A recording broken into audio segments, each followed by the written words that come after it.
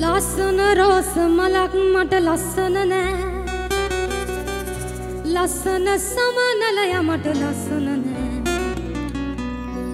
ලස්සන කිසිම දෙයක් මට ලස්සන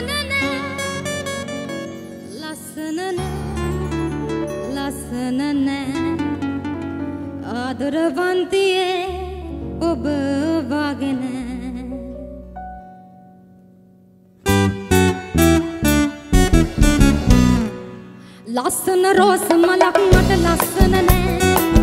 ලස්සන සමනලය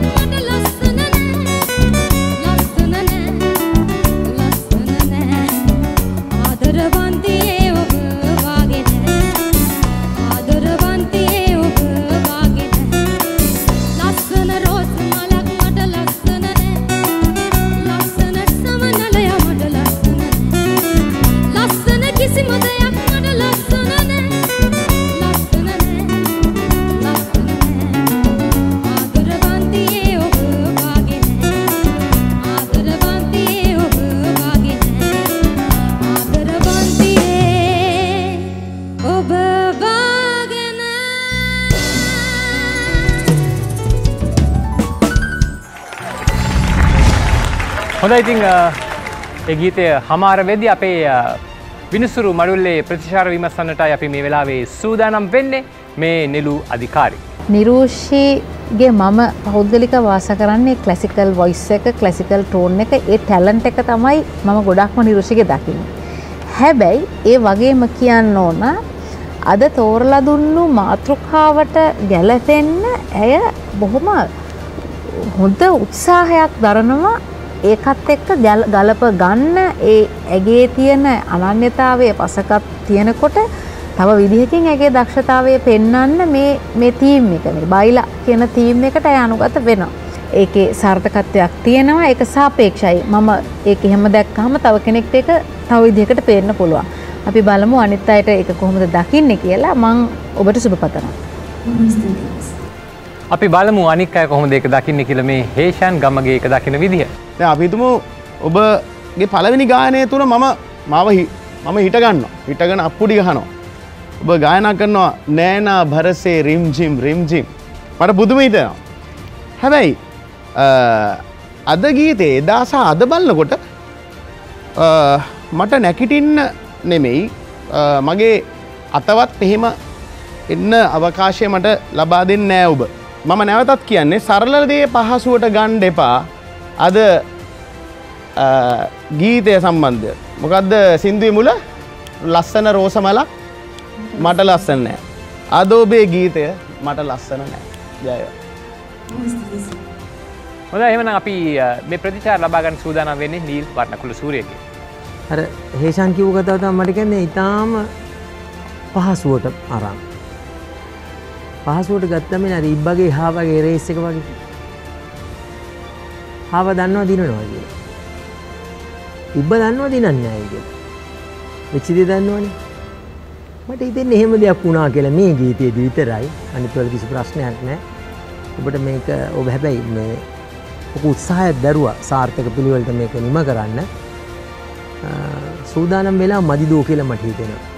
නමුත් ඔබේ දක්ෂකම් ඔක්කොම මම අගේනවා ජයව. අපි බලමු මේ තරගේදී ජයග්‍රහණය සඳහා අනිවාර්යෙන්ම ඉවහල් වන සාධකය තමයි ප්‍රේක්ෂක ඔබේ මනාපේ ඉතින් හැකිතක් මනාප පල කිරීමෙන් ඇය ඉදිරියට ගෙනට ඔබට හැකියාව තිබෙනවා ඉතින් ඇයට මනාප පල කරන ආකාරය තමයි මේ. ඔබේ මනාපය ඇයට නම් ඩයිලොක් හච්ෂෝ එයාටෙල් දුරකතනයකින් VOA හිස්තනක් අංක එකොල්හයොදා හැත්තහතයි බින්දු තුනට හෝ මොබිටෙල් දුරකතනයකින් VOA හිස්තනක් අංක එකොළහයොදා හැත්තහතයි බිඳුවයි එකොළහට හැකිතා කෙස්සෙමෙස් කරන්න.